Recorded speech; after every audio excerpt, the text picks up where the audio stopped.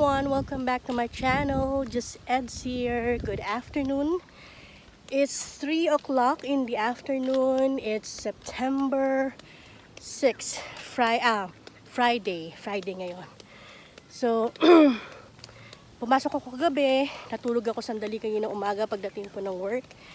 And then, paalis ako ngayon papunta sa school ng anak ko kasi kuhaan ng card nila. So, puntahan ko si Dindin yung bunso. And then after that, punta tayo ng Fora kasi magpapalinis ako ng ng kuko. Ma manicure, pedicure. The last time na nagpalinis ako ng kuko or foot spa was in February nung ginawa ko yung yung ginawa ko yung 500 peso challenge. Imagine, ang tagal lang. 6 months na nakakalipas. Hindi pa talaga ako nakapagpalinis kasi nga um, pag uwi ako ng bahay, inuuna ko lagi matulog, matulog, kasi nga kulang ako sa tulog dahil pang gabi nga ako.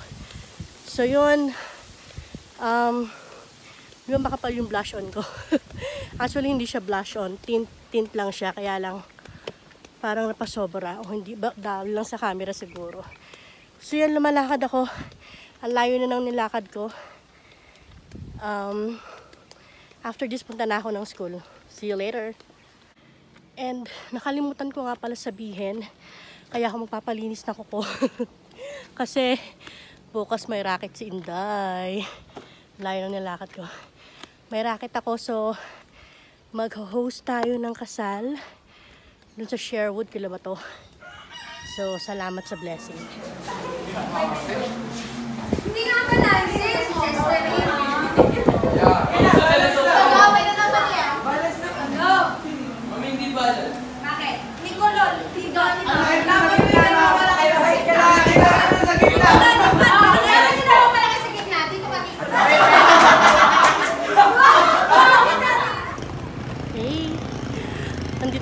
Sa Fora Mall. Galing kami sa school. Si Dindi nakakuha ng honors. Yay! Humihingi ng award. Milk tea na lang daw. Ayan. Ayan. Tapos guys, may babalita ako sa inyo. Kayo ang first hand information ng balita. Ng good news. So, just now, mga, a minute, mga couple of minutes ago, chinek ko yung watch hours ko. Na-reach na po natin yung threshold na 4,000 hours! Saya-saya! So, 4,043 hours to be exact. So, antayin ko na lang po yung email ni YouTube para malaman natin kung for review na tayo.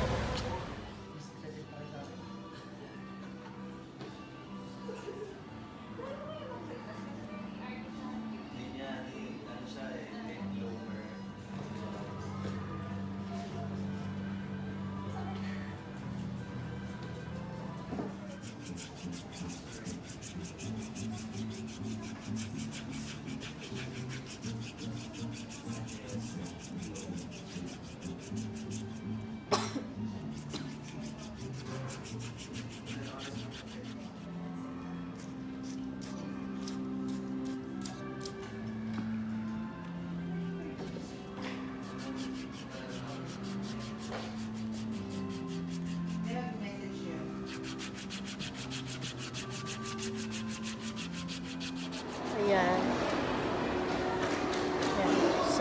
Yeah, galing na ako sa salon. Nagpalinis na ako ng kuko.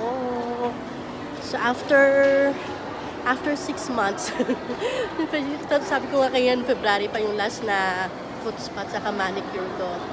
So, pauwi na kami. Da, ah, dadaan lang ako sa baba sa supermarket para bumili ng pang dinner namin. Siguro balikan ko kayo bukas na mag-host si Inday sa kasal. Abangan niyo yan.